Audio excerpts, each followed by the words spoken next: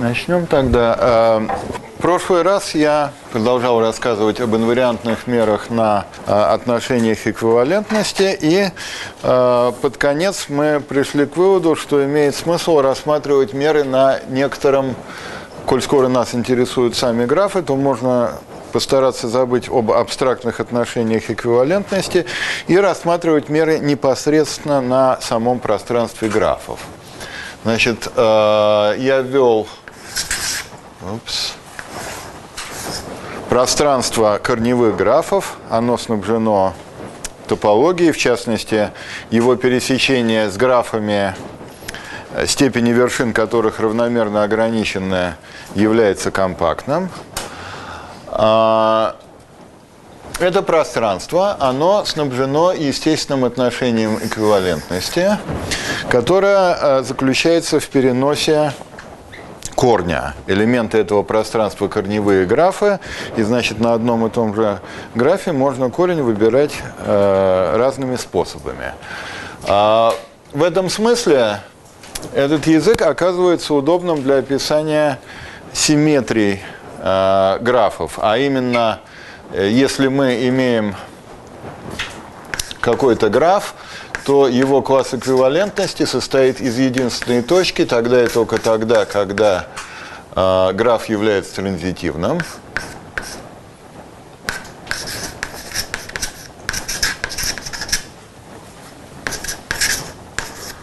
Так, это правильный имел или неправильный? Тут мне что-то говорили. Ага, спасибо. А, и э, на другой э, на другом конце спектра находится случай, когда класс эквивалентности графа может быть отождествлен с самим этим графом, то есть никаких склеиваний не происходит. И это э, в точности, если у графа нет никаких нетривиальных автоморфизмов. А граф является жестким.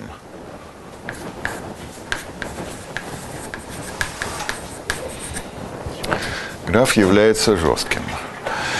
А теперь можно говорить о пространстве инвариантных мер относительно этого отношения эквивалентности.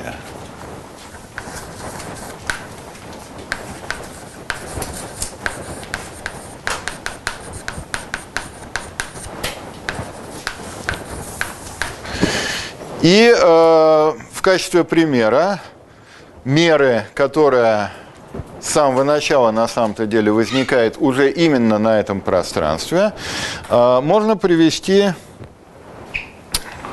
меру, возникающую из а, пополненного а, процесса Гальтона-Ватсона. Я напомню, что это такое. Классический процесс Гальтона-Ватсона задается набором задается некоторым вероятностным распределением на целых числах.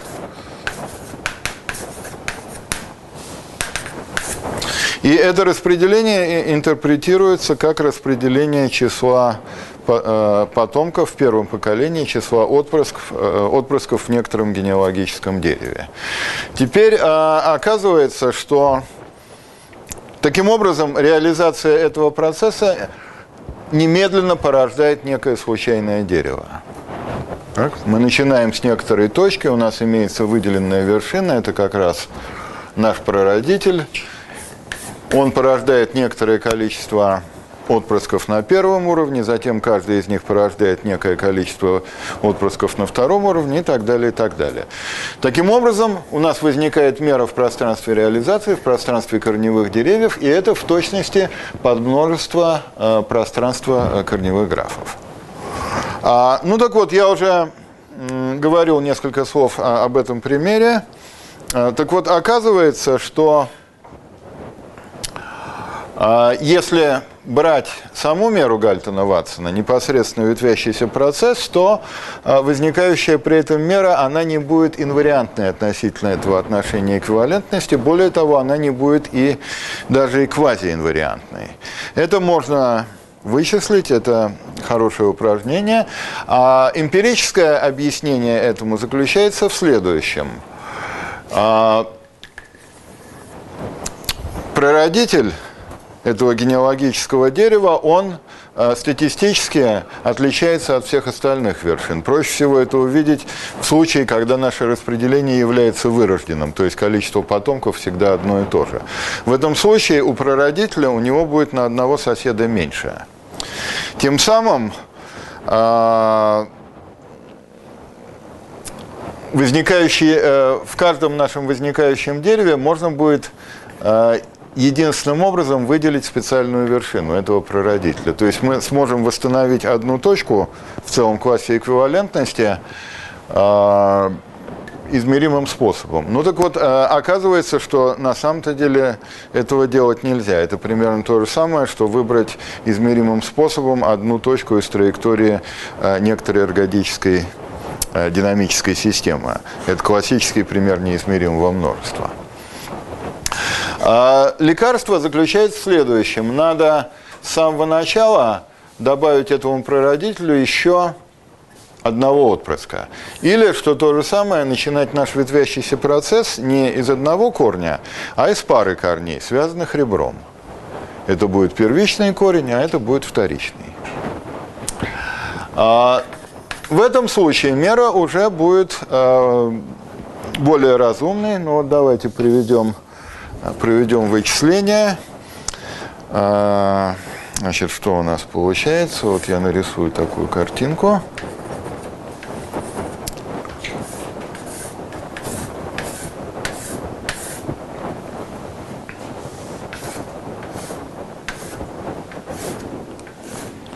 А, значит, вот это вот будет нашим корнем. О. А, и теперь давайте э, посмотрим, э, каким же будет э, значение меры соответствующего цилиндрического множества. Какого цилиндрического множества? Множество всех деревьев, выпущенных и растущих из точки О, таких, что их начальные отрезки, не отрезки, начальные окрестности, их начальные окрестности имеют вот такой вот вид.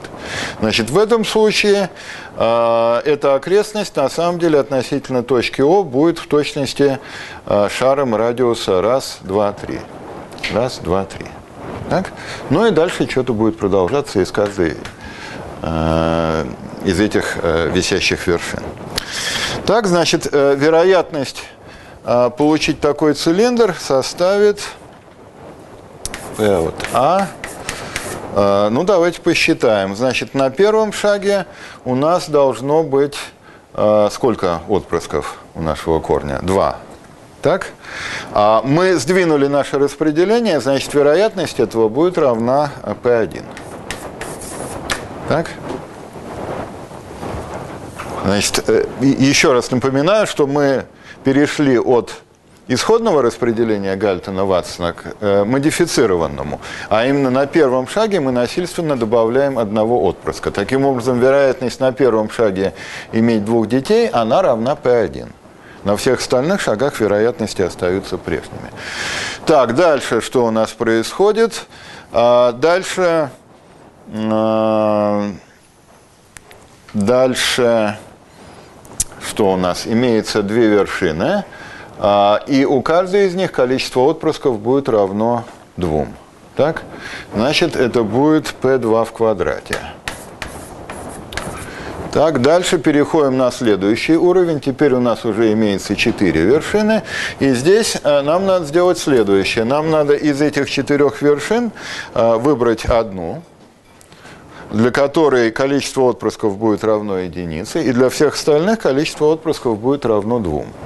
Поэтому надо умножить на 4.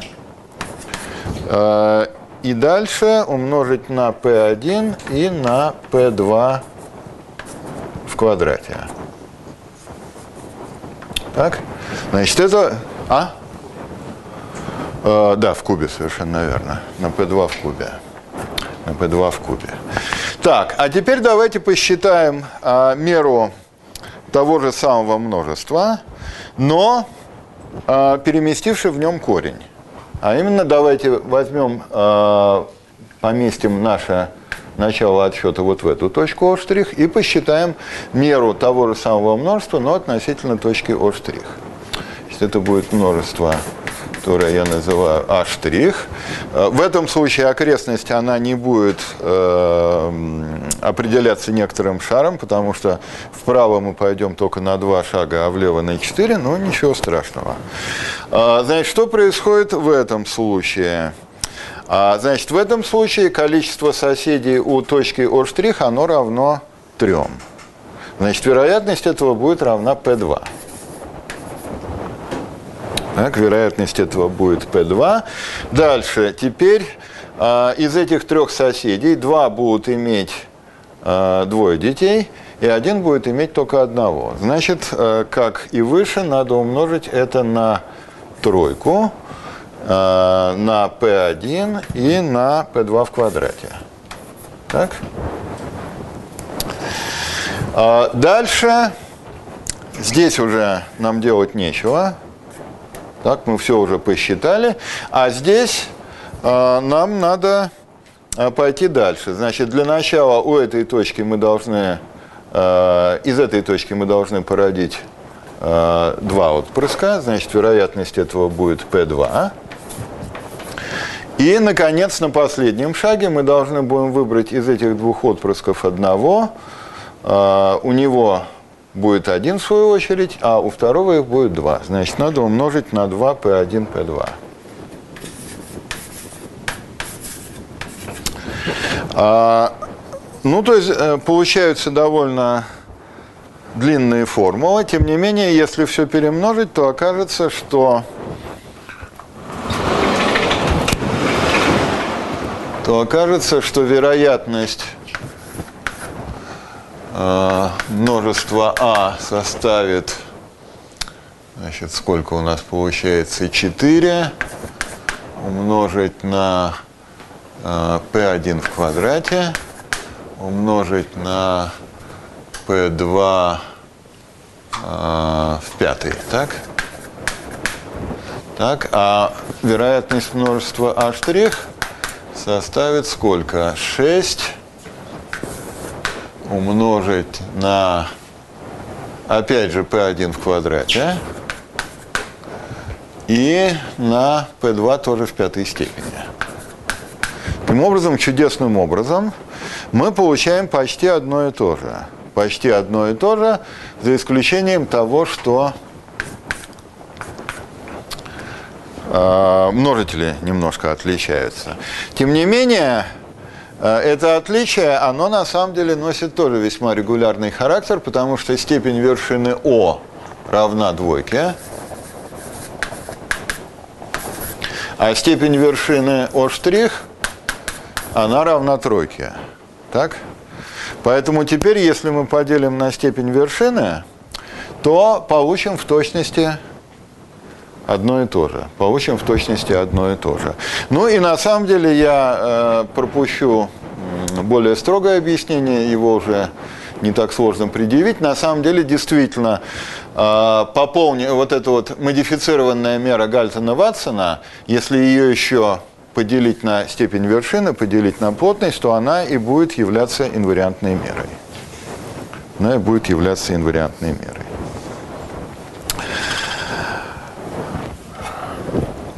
Так, теперь надо мне тоже попробовать это сделать.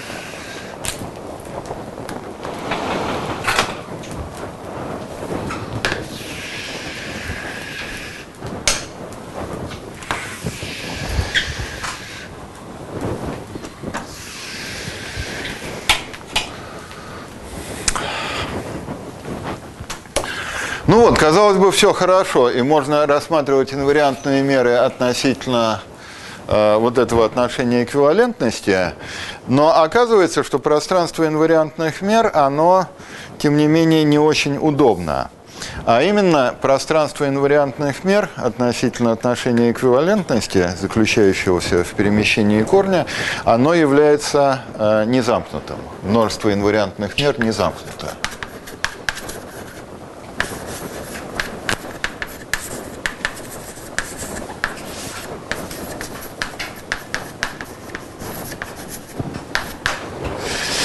И соответствующий пример э, несложно привести. Давайте рассмотрим э, вот такие вот графы, длинненькие полосочки. Устроенные таким вот образом. И удалим э, из этих полосочек одну угловую вершину. Таким образом, полученный граф уже становится жестким. У него нет никаких автоморфизмов. Так, это в точности э, та же причина, по которой в двумерных штрих-кодах ставят э, три крестика в уголках, чтобы его сделать жестким. А теперь граф этот является жестким, таким образом его класс эквивалентности э, совпадает с ним самим. Ну и тем самым на этом классе эквивалентности имеется единственная инвариантная мера, которая просто-напросто распределена равномерно на самом графе. То есть это аналог э, периодической орбиты для классических динамических систем. Теперь э, давайте посмотрим, э, ну давайте обозначим длину этого графа через n, через скажем, лямбда n обозначим равномерную меру на нем, то есть это инвариантная мера, и посмотрим, что же происходит с мерами лямбда n, когда n идет на бесконечность. Значит, в этом случае а, можно забыть о краевых эффектах, потому что доля граничных точек, она будет асимптотически мала. И таким образом у нас получается на самом-то деле э, два типа точек в нашем графе. Именно те точки, которые лежат посередине, и те точки, которые лежат по краям. Таким образом, а, в пределе у нас получается следующее. Предельным графом будет уже бесконечная полоска –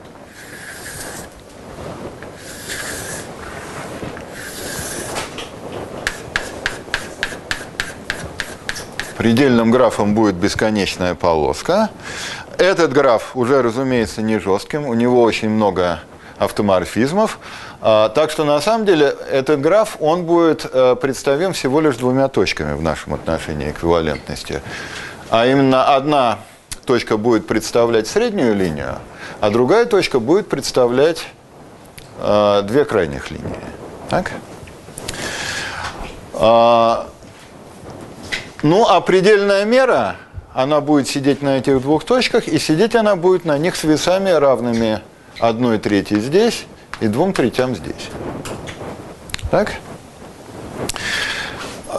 В то же время, естественно, это конечный класс эквивалентности, поэтому э, инвариантная мера на нем должна была бы иметь веса равные 1, 2 и 1, 2. Таким образом, мы получили, что пределом инвариантных мер является некая мера, которая не инвариантна. Пространство инвариантных мер, оно не замкнуто.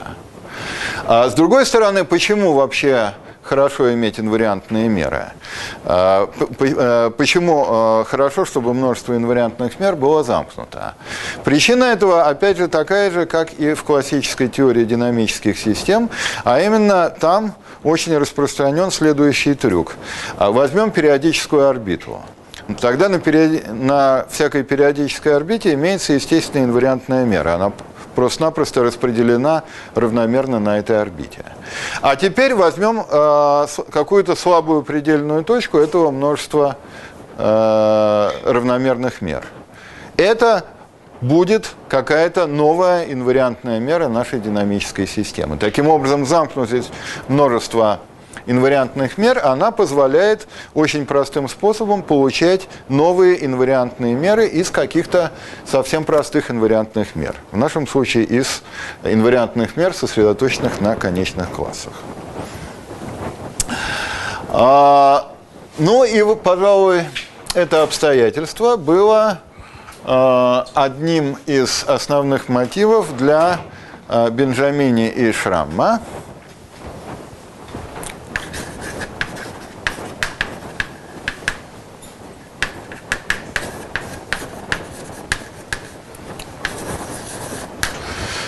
А, когда они определили ну, вот некоторый класс мер, которые я сейчас и опишу. На самом деле они не использовали этого термина, но немножко позже э, эти меры стали называть унимодулярными.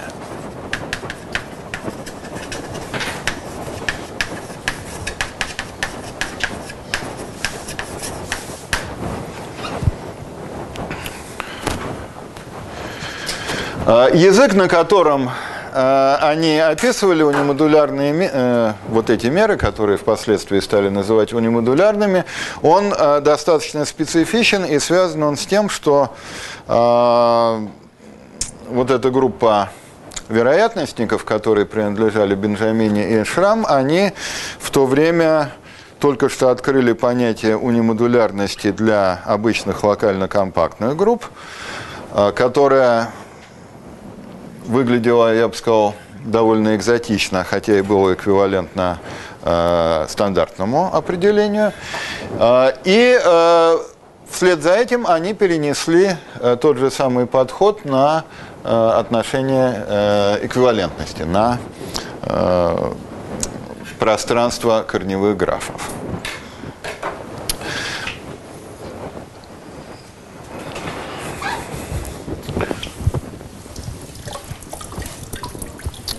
Значит, для того, чтобы э, сформулировать это определение, я для начала напомню еще раз, в очередной раз, определение инвариантности относительно отношения эквивалентности.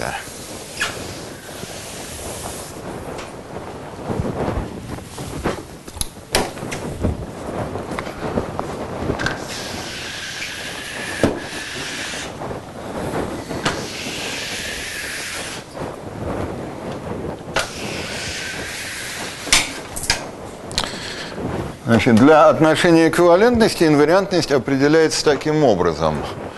У нас имеется какое-то отношение эквивалентности на некотором пространстве состояния x. А в этом случае тот факт, что отношение эквивалентности является подмножеством квадрата пространства состояний, означает, что у нас имеются две проекции, левая и правая, на пространство состояний.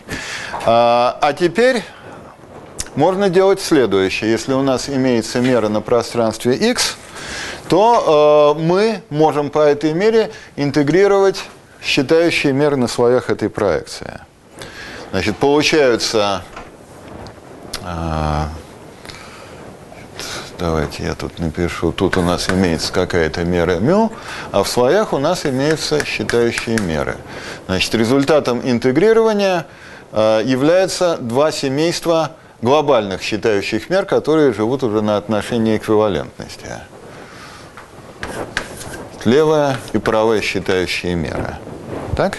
А затем мы говорим, что инвариантность меры μ относительно отношения эквивалентности равносильно совпадению этих двух считающих мер. Или, иначе говоря, тому, что одна единственная считающая мера, она э, инвариантна относительно инволюции. Более того, в случае, если дополнительно у нас имеется э, структура графа, то тогда Достаточно на самом деле проверять совпадение считающих мер только лишь на этой э, структуре графа. Так? А, ну а теперь давайте сделаем все ровно то же самое, но с некоторыми э, вариациями, с некоторыми модификациями. А, значит, здесь в роли пространства состояний на котором живет наша мера, будет выступать пространство корневых графов. Значит, это будет пространство G. Так. Теперь я хочу э, найти некоторое другое пространство, которое бы проектировалось двумя разными способами на это пространство G. Да? А, в первом случае это было отношение эквивалентности, ну а для пространства корневых графов на самом деле имеется очень естественный геометрический объект, который можно выбрать в качестве этого пространства. А именно, это будет пространство двукорневых графов которое у нас уже возникало. Именно так э, я и строил э, инвариантную меру на э, пространстве деревьев, отвечающую ветвящемуся процессу. Ну, а дальше все э, то же самое. Ну, не совсем. Не совсем. Значит, по-прежнему у нас имеется мера в основании, мера на пространстве корневых графов. И теперь мы должны некоторым хорошим способом выбрать еще и меры в слоях этой проекции. Идея заключается в следующем. Давайте еще раз вернемся к э, конечным графам. Вот давайте рассмотрим, скажем, э, такой граф.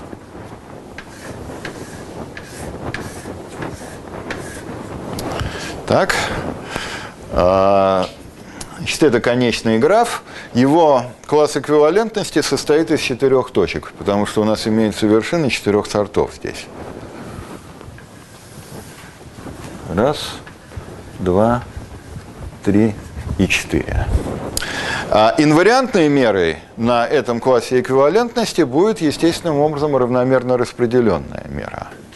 С другой стороны, если нас интересует все-таки в большей степени э, сам исходный граф, а не его класс эквивалентности, то в этом случае в качестве интересующей нас меры естественнее взять проекцию равномерной меры на самом графе. То есть ее веса на отношении эквивалентности, они будут такими. Э, на классе эквивалентности они будут такими. 1, 1, 2, 4. Ну так вот, точно так же и здесь давайте возьмем э, в качестве мер э, в слоях этой проекции образы э, равномерной мере на пространстве, э, не на пространстве, образы равномерной меры на самом графе.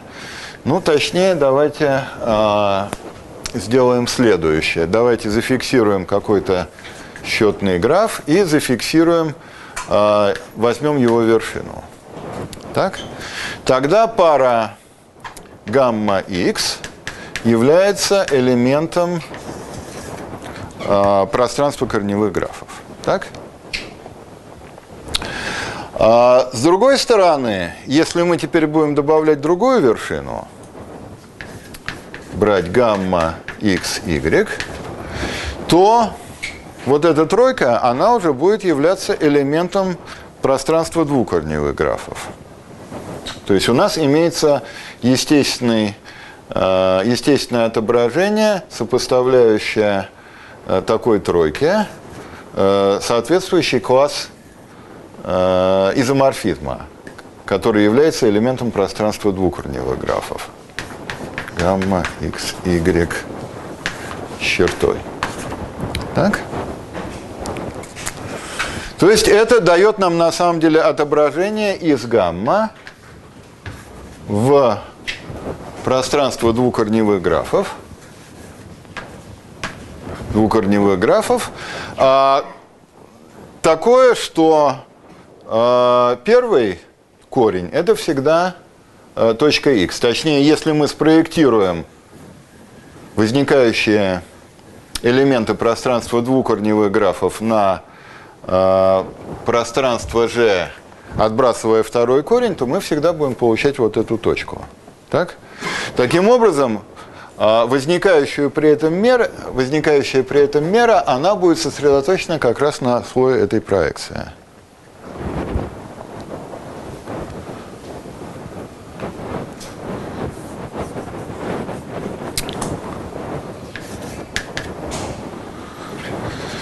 А, ну вот, таким образом, Здесь у нас имеется другая система мер в слоях. Я обозначу их А, значит, если это был диез, то здесь я напишу бемоль.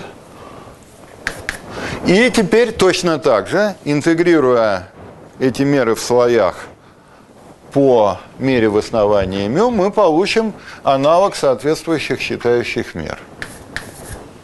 И опять же делать это можно слева, а можно это делать справа. Или, напротив, можно это сделать один раз, а затем применить инволюцию.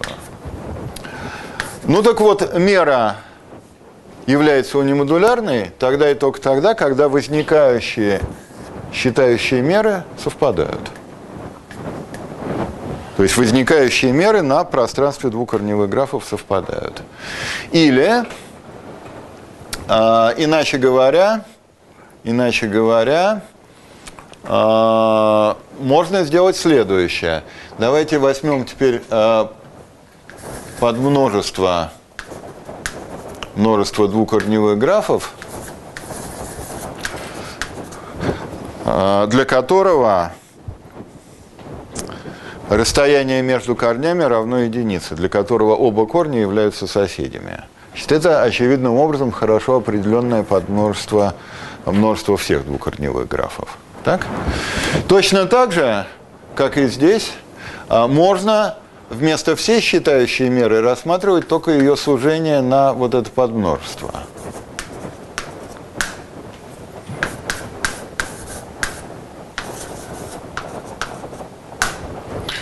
Так вот, оказывается, что э, на самом деле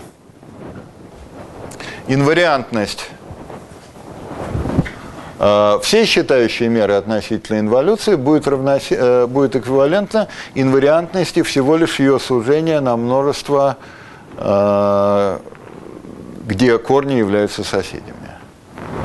Тоже в, полном, в полной аналогии с тем, что происходило с отношениями эквивалентности.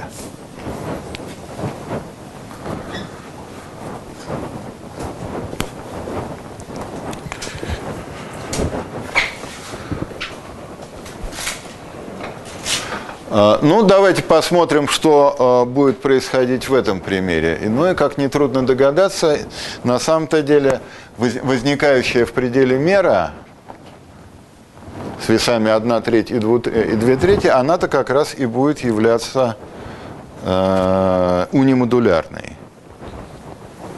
Она будет являться унимодулярной. Почему? Э, ну, давайте посмотрим, что получается. Значит, что у нас получается? Так.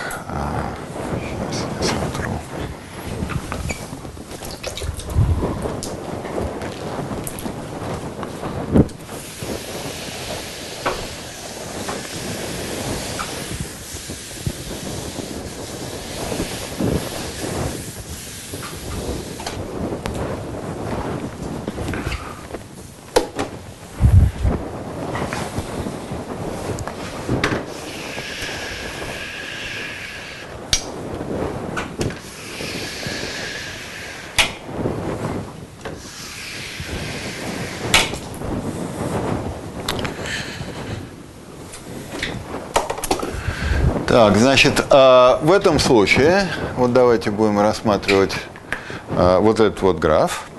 А, значит, в этом случае соответствующий класс эквивалентности в пространстве корневых графов, он состоит всего лишь из двух точек. Так? Он состоит всего лишь из двух точек.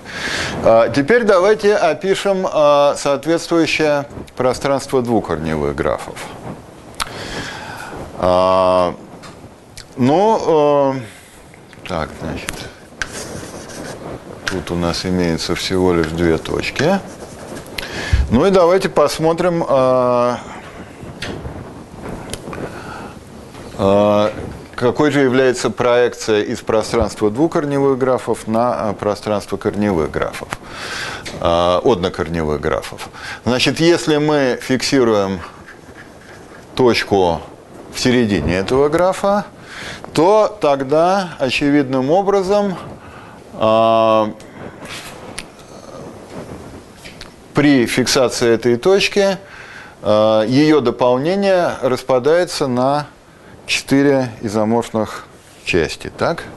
Значит, у нас тем самым, э, ну не 4, скорее, э, неважно. Значит, э, так, этой точке что у нас отвечает? Значит, мы фиксируем точку в середине, точку в середине, и э, затем у нас остается следующее. У нас остается вот этот вот кусок, который будет параметризовать все двукорневые графы э, с вершиной в центре. Так? Так? Теперь э, таким образом слоем нашей проекции будет, э, мы можем идентифицировать слой нашей проекции вот с этим вот э, куском э, бесконечного графа. Так, теперь какими будут веса? Какими будут веса? Ну, нетрудно убедиться. Значит, здесь вес будет равен единице. Так, теперь здесь чему будет равен вес? Нет, наоборот. Мы берем равномерную меру здесь и проектируем ее сюда. То есть веса они будут целыми числами, больше единицы. Значит, э, сюда у нас попадут две точки. Вот это и вот это. Так? Значит, здесь вес будет равен двойке. Так, теперь э, здесь чему будет равен вес? Да, здесь будет вес равен четверке и так далее. Теперь э, здесь по э, центральной линии веса, они будут, соответственно, равны 2, 2, 2 и так далее. Так? Так, значит, это э, слой, отвечающий центральной линии. Теперь, э, что у нас происходит, если мы, напротив, э, фиксируем точку здесь? Если мы фиксируем точку здесь, то в этом случае у нас получится а, немножко больше. Значит, в этом случае у нас получится э, вот что.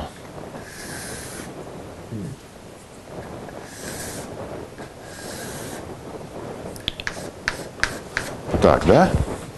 И веса будут равны, соответственно, чему? Тут единицы, тут э, двойки, так далее. Тут э, вес будет равен единице. Единице. Тут тоже двойка везде будет. А, и внизу тоже сначала он будет равен единице, а дальше во всех остальных точках он будет равен двойке. Так?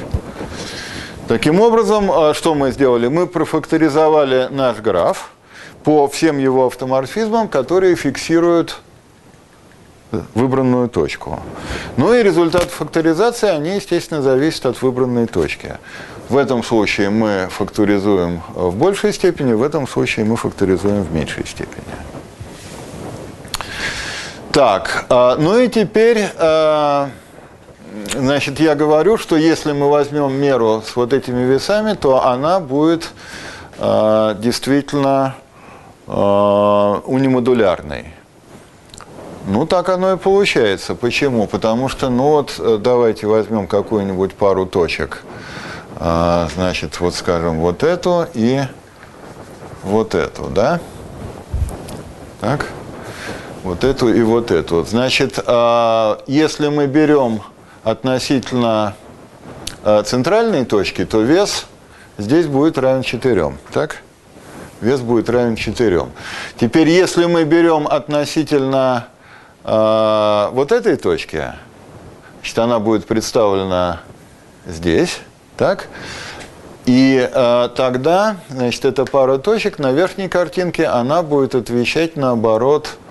Э, раз, два, три, четыре. Так, давайте еще одну нарисую. Значит, эта пара точек будет отвечать вот этой паре точек. Так? Так, а, и, а, значит, в этом случае здесь э, вес будет равен двойке, а тут он равен четверке. Но веса у нашей меры, они как раз э, отличаются. Здесь коэффициент равен 1 трети, а здесь коэффициент равен 2 третям. То есть они отличаются ровно в два раза. То есть после умножения на эти веса мы получим в точности одни и те же значения. Таким образом, э, эта мера, она действительно будет являться унимодулярной. Эта мера будет являться унимодулярной. А, так. Давайте сейчас еще немножко скажу, и э, мы сделаем перерыв. А, ну вот, а оказывается, что, хотя на первый взгляд эти два определения выглядят с одной стороны похожими, с одной стороны похожими, а с другой стороны все-таки отличающимися, э, между ними имеется хорошо определенная связь. А, ну, для начала э, я сделаю следующее замечание, вполне тривиальное. Первое. В случае, если мера μ сосредоточена на жестких графах,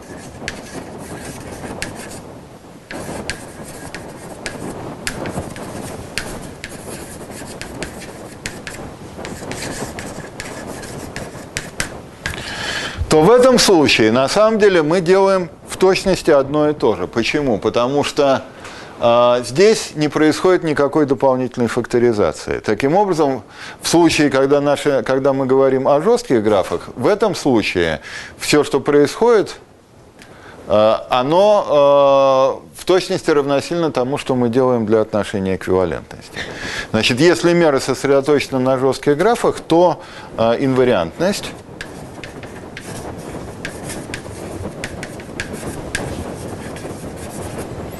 равносильно унимодулярности.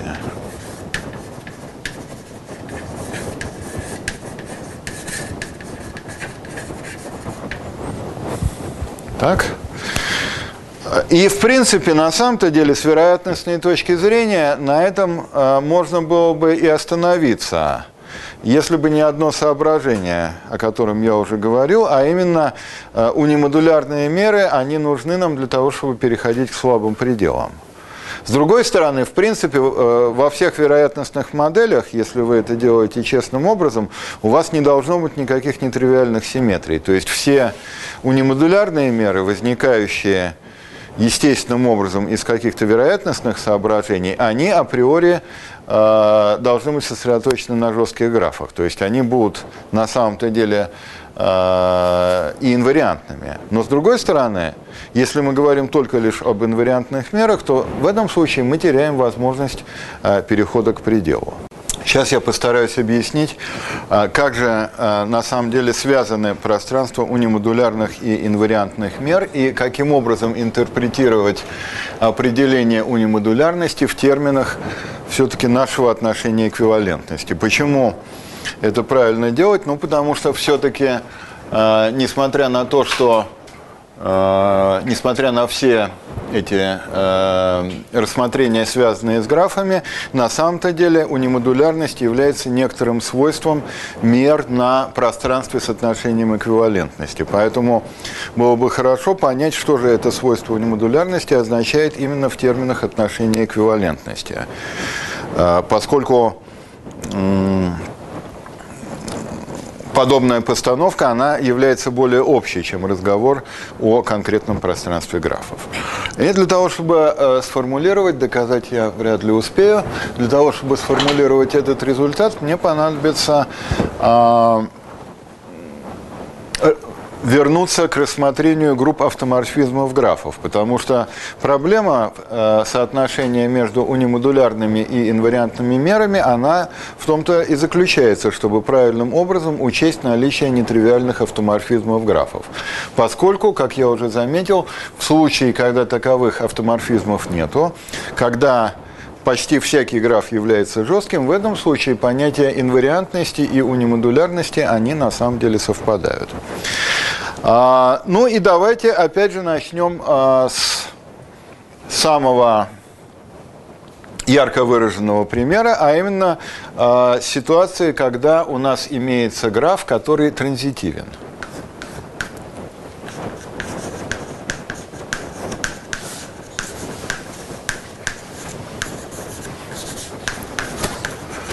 Имеется граф, который транзитивен, то есть это означает, что его группа автоморфизмов, я говорю сейчас о группе автоморфизмов именно графа, не корневого графа, а всего графа как геометрического объекта. А группа его автоморфизмов является транзитивной на пространстве вершин.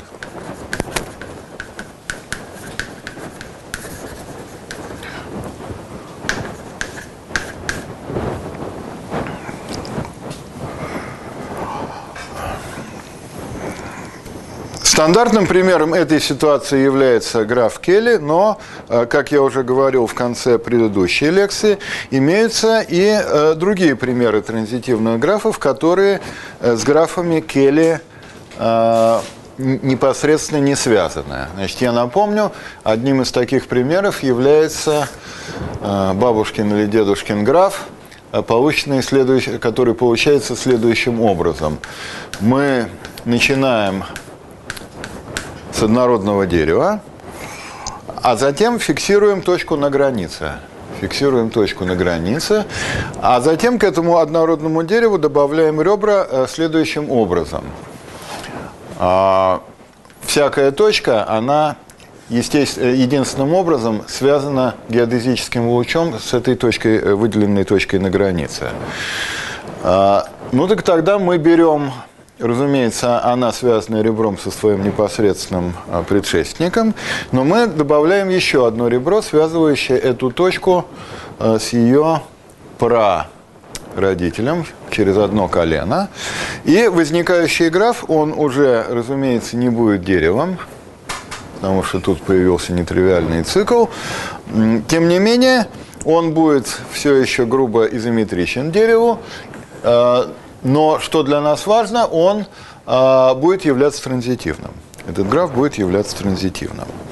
А, значит, э, какой будет являться группа его изометрий?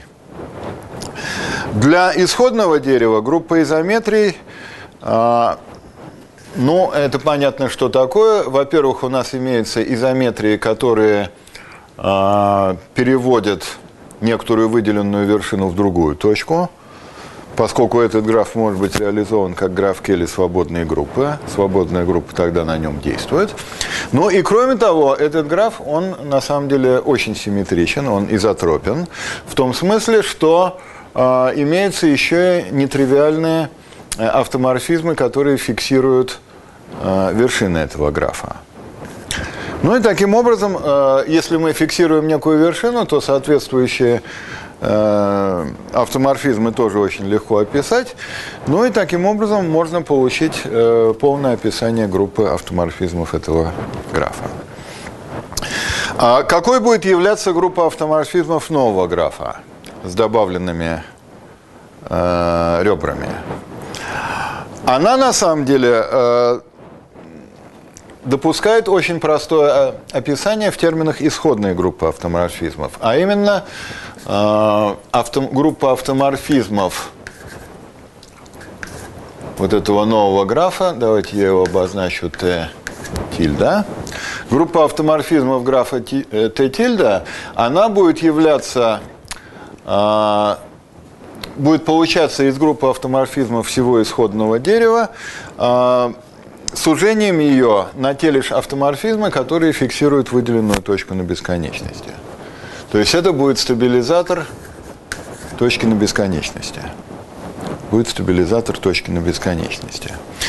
А, так вот, особенность, из-за которой, собственно, я и начал рассматривать этот граф, а, заключается в следующем, что группа автоморфизмов исходного графа, она является унимодулярной, в то время как группа автоморфизмов нового графа, она унимодулярной не будет являться. А, ну, я не знаю, надо ли напоминать определение унимодулярной группы. Надо. Или не надо? Ага, надо все-таки.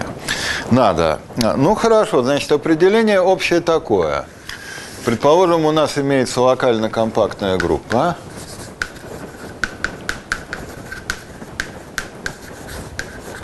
Кально-компактная группа. Ну и надо э, еще сепарабельность, наверное, требовать. Или не надо? Не, не надо сепарабельность требовать. А тогда по знаменитой теореме Хара, по знаменитой теореме Хара, а, на этой группе существует инвариантная мера. И она единственная с точностью до умножения. А? Левая инвариант, совершенно верно. Существует единственная левая инвариантная мера, единственная с точностью до умножения. А, но вот как Андрей Александрович э, справедливо заметил, э, тем не менее левая инвариантная мера, она не обязана быть правоинвариантной. Но поскольку, с другой стороны, если мы левоинвариантную меру умножим на что-то справа, то она останется по-прежнему левоинвариантной. Поэтому э, при, если группа не является унимодулярной, то есть унимодулярность – это то, что мера Хары является одновременно инвариантной и слева, и справа. Если группа не является унимодулярной, то при умножении этой инвариантной меры справа на элементы группы мы будем, будем получать соответствующие коэффициенты пропорциональности. И эти коэффициенты пропорциональности, они называются модулярной функцией на нашей группе. А, ну так вот, примерами унимодулярных э, групп являются, скажем, группы изометрий симметрических пространств. В частности, группа э, всех изометрий гиперболической плоскости, то бишь группа SL2Z. Она является примером унимодулярной группы.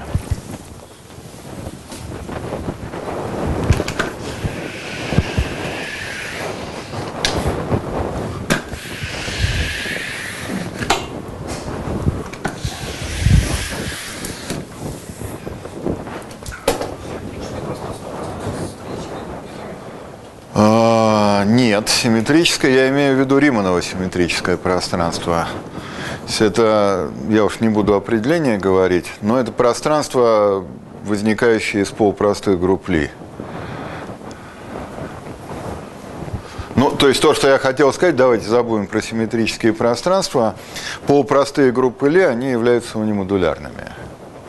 То есть, в частности, все группы SL, NR – они будут унимодулярными. Вот. А неунимоду... классическим примером неунимодулярной группы является группа верхних треугольных матриц.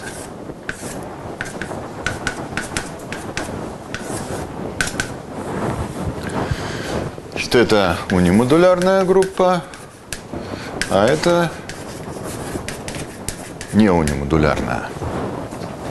Так вот, оказывается, что в случае групп Э, действующих на графах, в случае групп автоморфизмов графов, э, унимодулярность, она может быть характеризована очень-очень простым образом.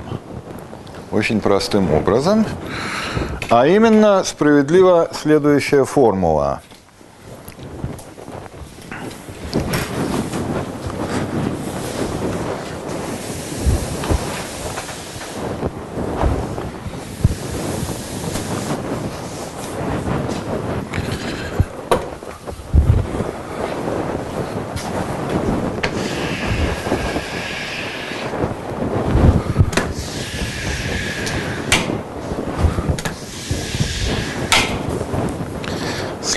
следующая формула, принадлежащая э, Шлихтингу и Трофимову. Теорема.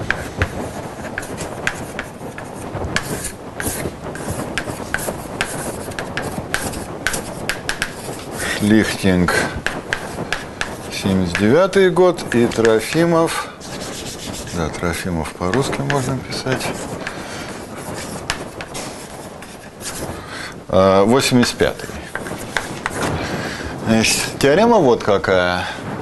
А, как я и говорил уже, предположим, у нас имеется транзитивный граф. Тогда а, модулярная функция этого графа, она представляется такой формулой. Предположим, у нас имеются две точки x и y. э, в нашем графе. Ну и поскольку граф является транзитивным, то, разумеется, точка y, она будет получаться из точки x э, применением некоторого элемента. Так? А тогда модулярная функция имеет следующий очень простой вид.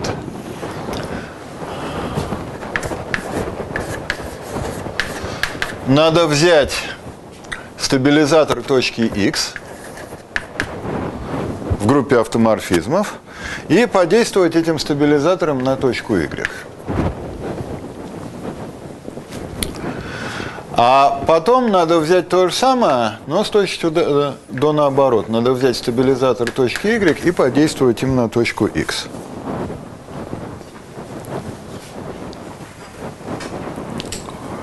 А, так вот, это отношение, оно и будет э, являться модулярной функцией нашей группы. Формула эта очень проста и а, даже не знаю, боюсь, нет у меня времени ее доказывать, но это на самом деле очень хорошее упражнение.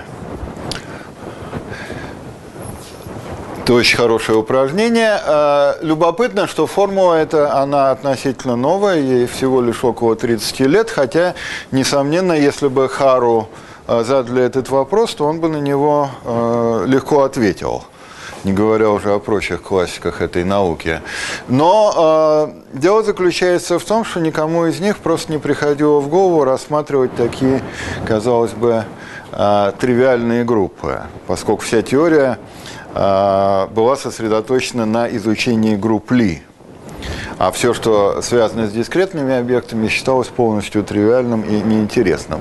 Но вот э, тем более любопытно, что в последние годы выяснилось, что имеется некоторые области дискретной науки, которые были э, совершенно не замечены на классическом этапе и которые на самом деле э, являются, с одной стороны, технически очень простыми, то есть все это могло бы быть сделано еще э, сто лет назад, э, но а с другой стороны, они являются и очень содержательными.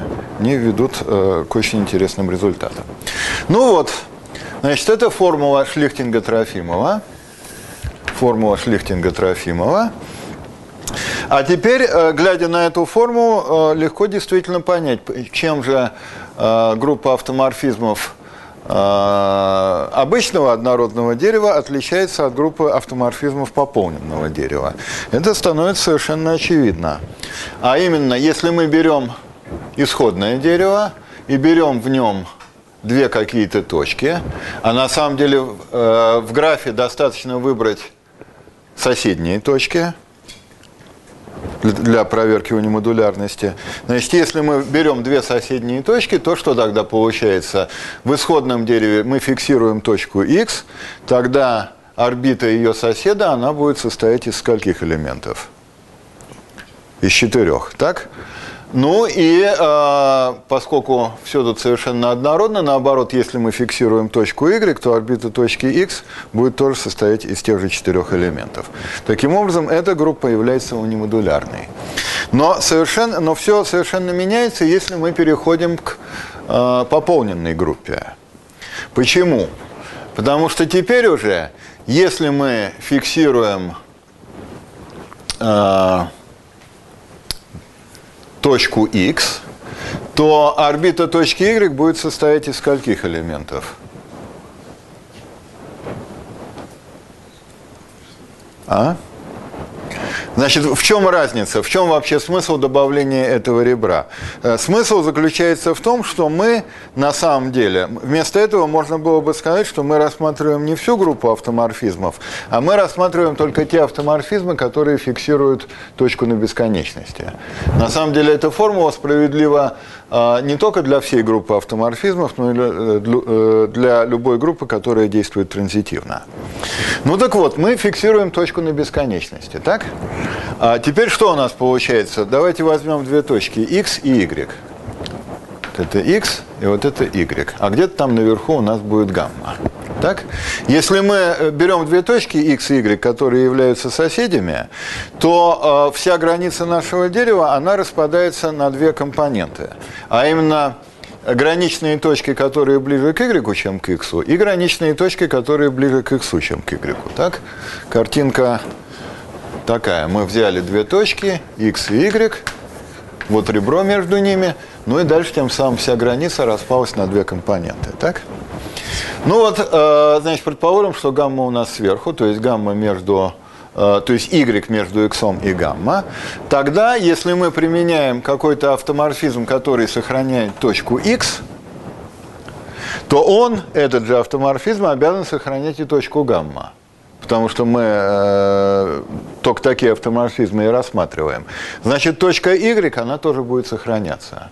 Значит, в этом случае орбита точки y будет состоять из одной единственной точки y. Так?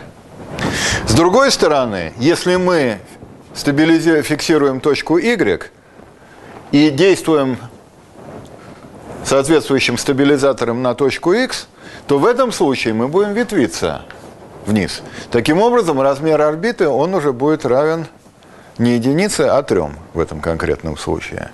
То есть группа эта будет не унимодулярной. Вот это, пожалуй, на самом деле самый простой пример не унимодулярной группы, который, ну, по модулю вот этой недоказанной мной теоремы, которая, впрочем, э, не требует никакого глубокого анализа, достаточно короткая выкладка, э, это является э, самым простым примером не унимодулярной группы. Так, теперь давайте посмотрим на э, непосредственные следствия этого замечания, возникающие вот в какой ситуации.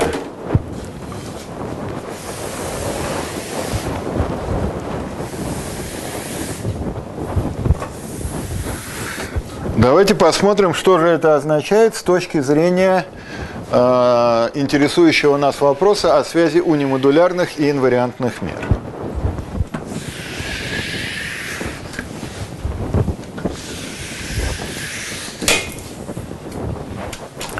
Так, значит, по-прежнему у нас имеется транзитивный граф. И в этом случае, как мы уже заметили, он будет соответствовать одной единственной точке э, его класс эквивалентности в пространстве корневых графов будет состоять из одной единственной точки. Так? Значит, это транзитивный граф, его класс эквивалентности состоит из одной единственной точки. А, значит, тем самым, если мы возьмем дельта-меру в этой точке, то она, разумеется, будет инвариантной. Ну, поскольку класс состоит из одной единственной точки, то деваться некуда. Значит, ну давайте этот класс обозначим а, через гамма. Значит, дельта-гамма – это естественным образом инвариантная мера. Вопрос. Будет ли эта мера унимодулярной?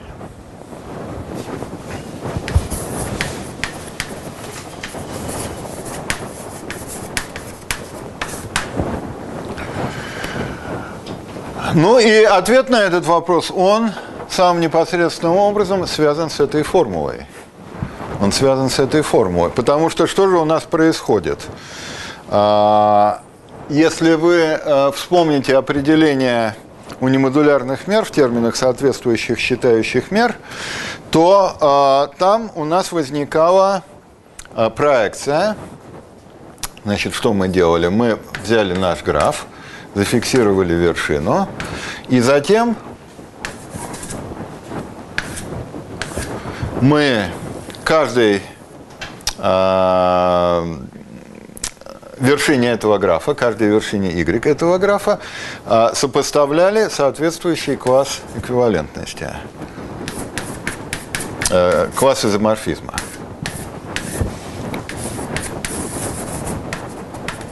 Так? А,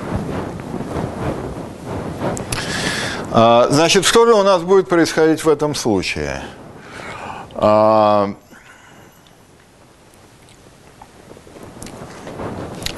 сколько, а, каким будет вес соответствующей точки? Значит, что у нас тут происходит? X мы зафиксировали, X мы зафиксировали, поэтому X мы шевелить не можем. И теперь, таким образом, с какой кратностью будет у нас происходить склейка? Склейка будет определяться в точности действием стабилизатора точки X на точку Y. Значит, вес соответствующей точки.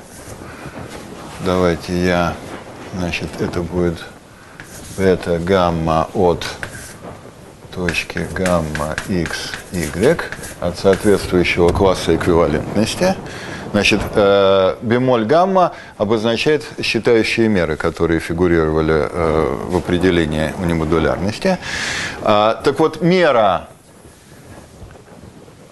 соответствующего класса изоморфизма двукорневых графов, она в точности будет равна размеру соответствующей орбиты стабилизатора. Так?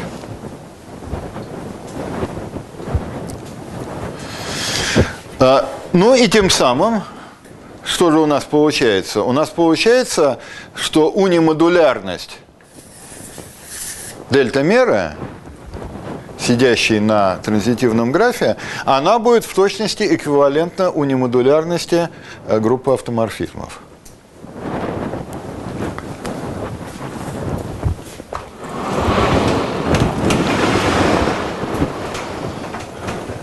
Дельта гамма унимодулярна.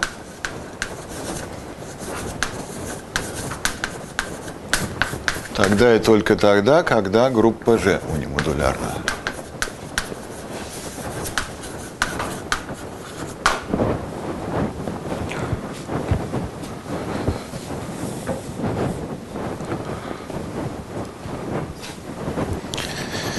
Таким образом, нам надо каким-то э, как-то принять в, э, расчет свойства группы автоморфизмов, свойства группы автоморфизмов.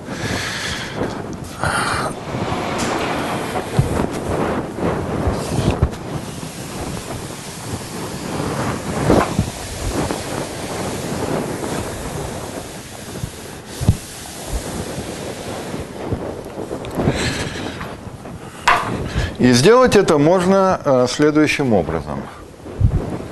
Делать это можно следующим образом.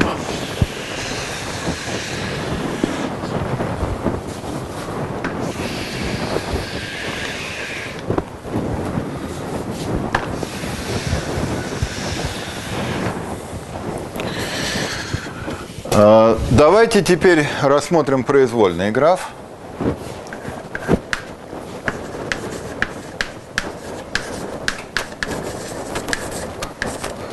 Рассмотрим произвольный граф. И э, рассмотрим на этом графе вот такое вот отношение. Такое же в точности, как и для э, модулярной функции в транзитивном случае.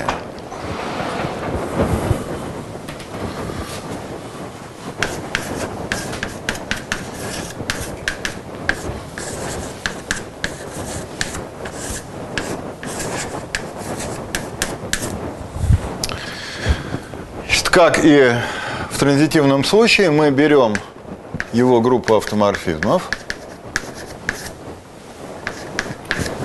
И для произвольной пары точек на этом графе рассматриваем соответствующие отношения. Отношения э, размеров орбит э, стабилизаторов. Сначала мы фиксируем первую точку и берем орбиту второй под действием стабилизатора первой, а потом то же самое э, наоборот. А, ну так вот, оказывается следующее, что а, если группа G унимодулярна,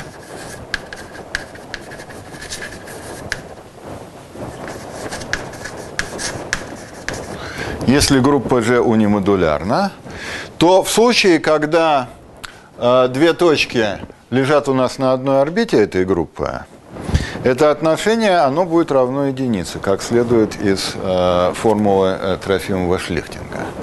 Э, тем самым, в этом случае, э, это отношение дельта э, проектируется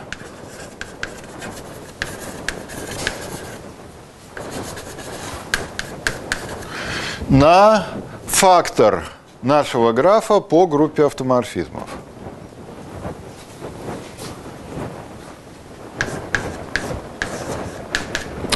Но этот фактор, он как раз в точности и является классом эквивалентности нашего графа в пространстве корневых графов.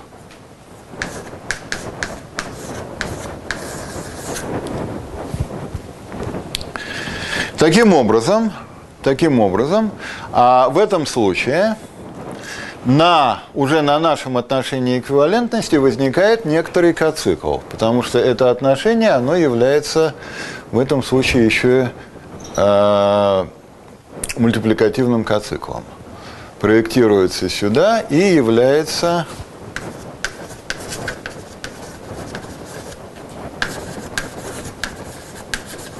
мультипликативным коциклом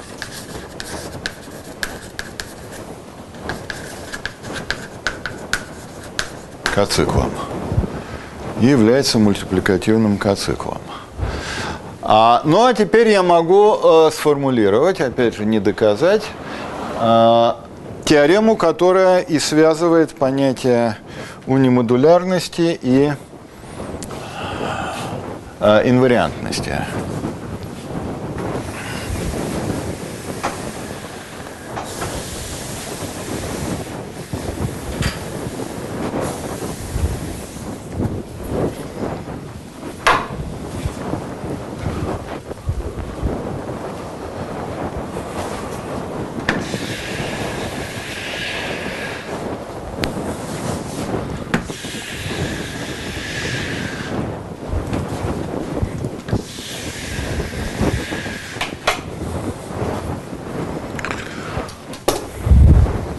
Теорема. Теорема. Мера μ на пространстве корневых графов является унимодулярной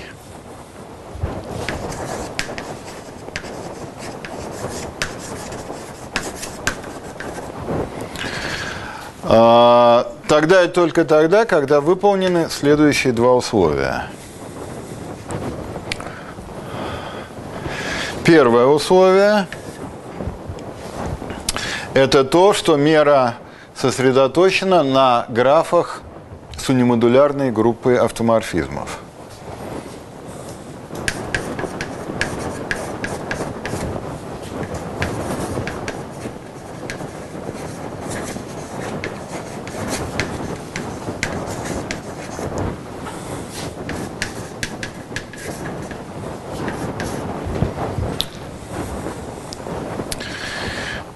Значит, это условие тем самым, естественно, отбрасывает э, патологические примеры, как, например, здесь, когда э, дельта-мера на транзитивном графе с неунимодулярной группой, она не, э, может, не могла быть унимодулярной. А второе условие вот какое, что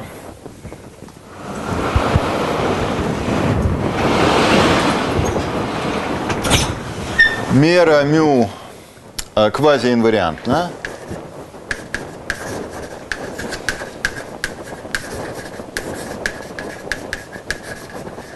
Квазиинвариантно относительно нашего отношения эквивалентности.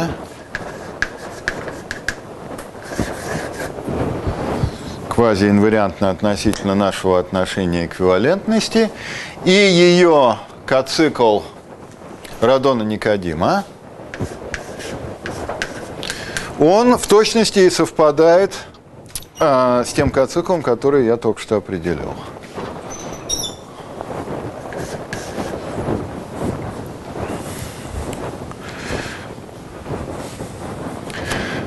Ну вот, а, давайте теперь вернемся к а, тому примеру, который я рассматривал с ленточным графом. Посмотрим, что же происходит там.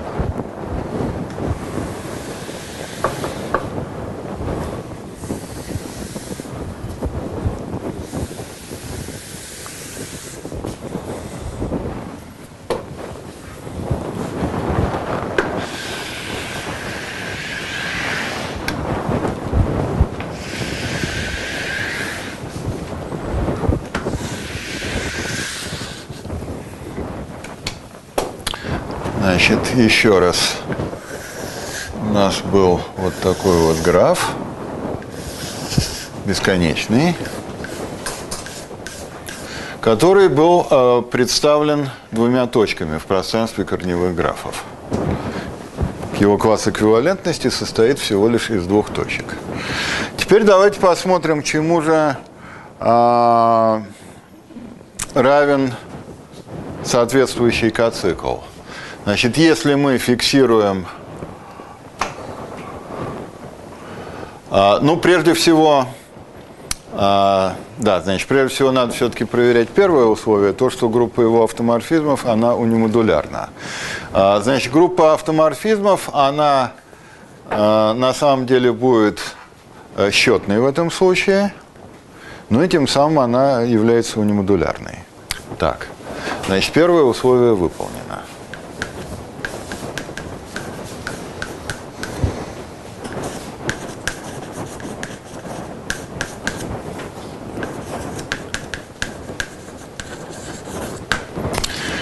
Так, ну а теперь давайте посмотрим, чему же будет равен э, соответствующий э, К-цикл. Равен он будет вот чему. Значит, если мы фиксируем одну точку, выбираем какую-то другую, так, значит, эта точка представляет первый, э, э, эта вершина графа представляет первую точку в пространстве корневых графов, а эта точка представляет вторую, так?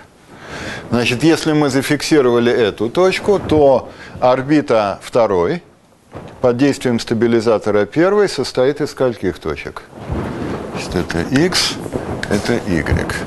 Значит, g, x, y а, состоит из скольких точек? Из четырех. Так, хорошо. Теперь то, точно так же фиксируем точку y и смотрим на орбиту точки x.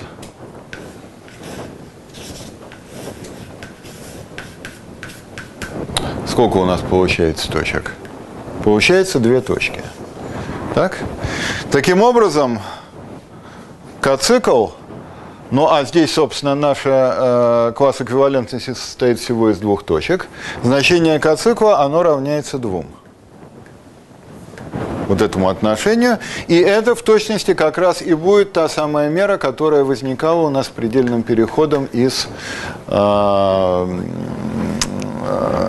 предельным переходом от конечных графов. Таким образом, в результате у нас получается действительно унимодулярная мера. Так, теперь э, осталось несколько минут, и я, пожалуй, сформулирую все-таки еще один результат. И потом скажу немножко о вопросах, которые тут возникают. А, оказывается, что унимодулярные меры, они могут быть охарактеризованы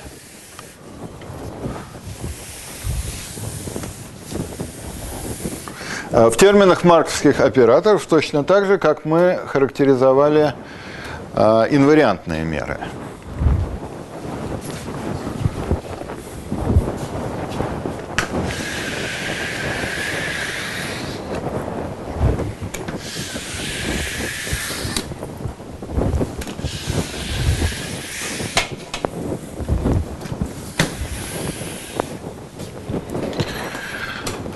Существует две, на самом деле, эквивалентных э, формулировки. Э, в несколько отличающихся терминах. Первая формулировка принадлежит э, Бенджамине и Кюрьян. Это совсем недавний результат, э, скажем, 2010 года.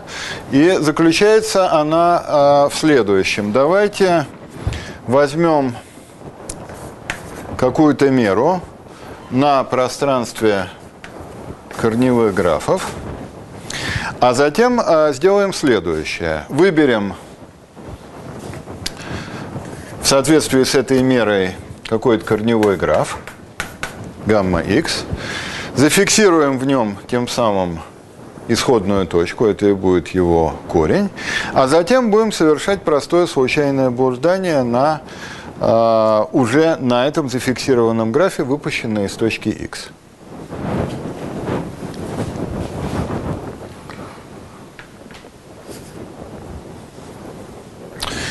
Теперь э, Давайте э, посмотрим всего лишь на распределение этого случайного блуждания в следующий момент времени. Значит, в момент времени 0 мы выходим из точки x0. В следующий момент времени мы равномерно распределяемся по ее соседям и приходим в некоторую точку x1. Ну а теперь давайте возьмем э, соответствующий класс эквивалентности. Поскольку мы не умеем говорить об индивидуальных графах, мы умеем говорить только об их, я все время путаю, э, не классах эквивалентности, а об их э, классах изоморфизма. Возьмем соответствующий класс изоморфизма. Это будет элементом множества двукорневых графов. Будет элементом множества двукорневых графов. Таким образом, у нас получается некоторая мера – на пространстве двукорневых графов. Мы начали с меры μ, в результате у нас получилась некая мера на пространстве двукорневых графов. Значит, оказывается, что эта мера, она, э, ну, собственно, это следует из определения простого случайного блуждания, эта мера э, как раз и совпадает Э, с сужением соответствующие считающие меры на множество двукорневых графов, где корни являются соседями. Ну и тем самым эта мера m, это мера m, она а, будет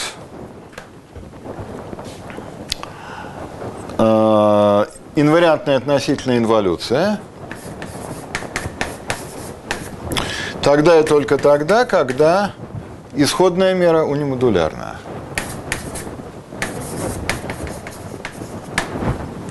Исходная мера унимодулярна.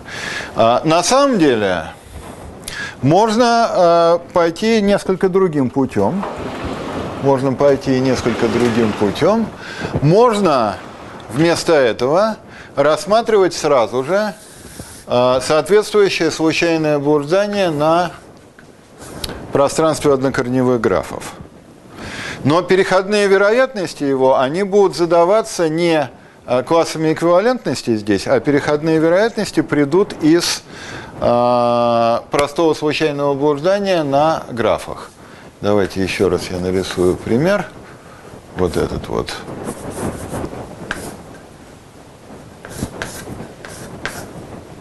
Так. Значит, здесь класс эквивалентности, он состоит из четырех точек. Эквивалентности состоит из четырех точек. Поэтому для простого случайного блуждания на этом классе эквивалентности, скажем, переходные вероятности отсюда, э, влево и вправо, они были бы равны одной второй. Так? Но это простое случайное блуждание, оно происходит на факторе нашего графа. В то же время, если нас интересует исходный граф, то тогда переходные вероятности, они были бы налево 1 треть, а направо 2 трети. Да? Таким образом, а, структура исходного графа, она задает некоторые переходные вероятности на этом классе эквивалентности. Этом классе эквивалентности. А, так вот, если мы будем а, запускать это случайное блуждание, то тогда а, унимодулярность меры μ, она равносильна точно так же, как и а, в теореме, а, комбинации следующих двух условий. Первое. Надо насильно потребовать, чтобы все графы были хорошими, все графы были унимодулярными, и группа автоморфизмов была бы э, унимодулярный. К сожалению, без этого никак не обойтись, потому что в противном случае мы всегда можем э, рассмотреть транзитивный граф с неунимодулярной группой автоморфизмов. В этом случае класс эквивалентности состоит из единственной точки, поэтому соответствующая цепь Маркова будет, разумеется, тривиальной и будет обладать всеми свойствами, какие только можно пожелать. Значит, первое условие. Почти все группы автоморфизмов унимодулярны. А второе условие а, будет заключаться в том, что э, наша мера, она будет обратимой для э, соответствующего марковского процесса.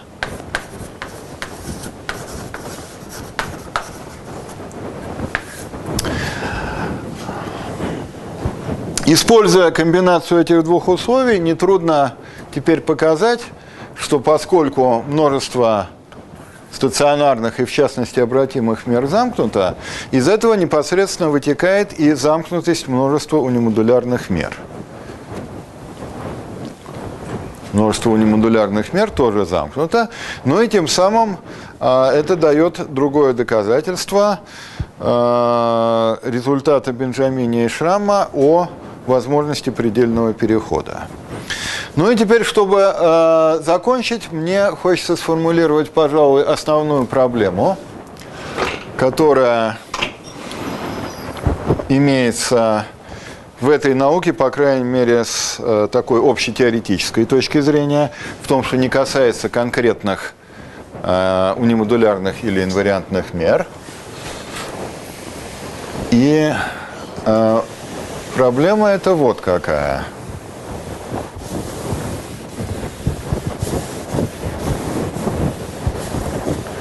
Проблема это вот какая. Вопрос.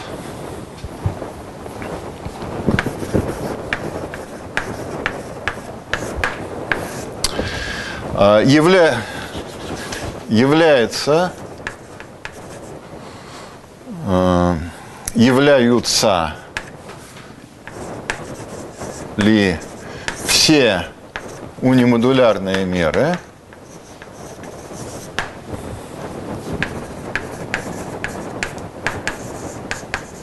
конечно аппроксимируемыми.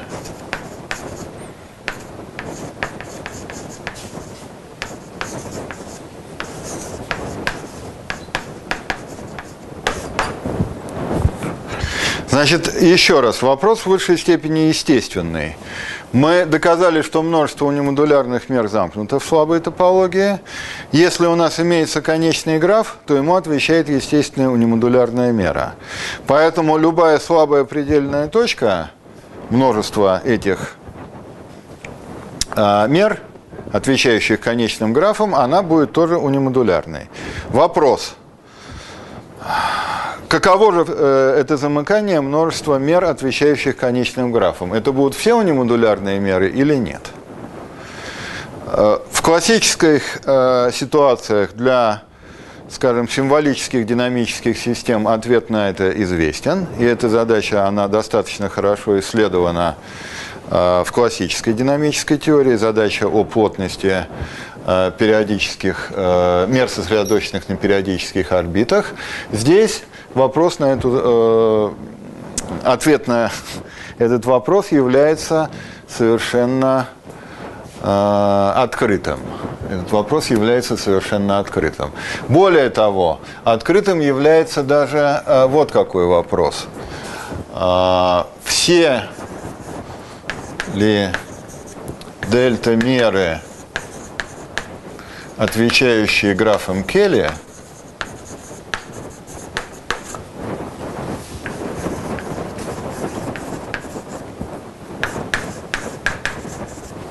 являются конечно аппроксимируемыми.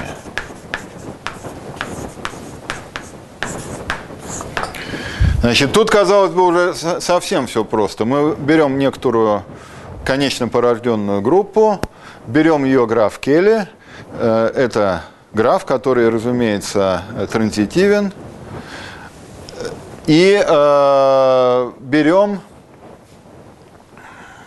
он, он транзитивен, он унимодулярен, берем соответствующую дельта-меру, Она тем самым тоже будет унимодулярный. Вопрос, можем ли мы эту дельту-меру, эту дельта-меру аппроксимировать конечными графами. Вопрос, э, еще раз, ответ на этот вопрос совершенно неизвестен. А группы, которые обладают этим свойством, на самом деле они очень важны. Это так называемые э, софические группы.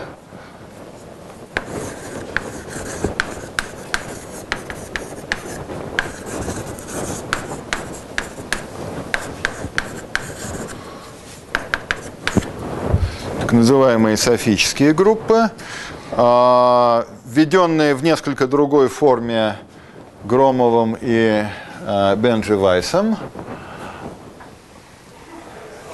Они обладают массой замечательных свойств, и, по-видимому, по-видимому, ответ на этот вопрос все-таки отрицателен. По-видимому, а, нет никаких серьезных оснований предполагать, что все группы будут обладать этим свойством, но, тем не менее, пока никаких э, контурпримеров а, в обозримой, в обозримой окрестности не наблюдается.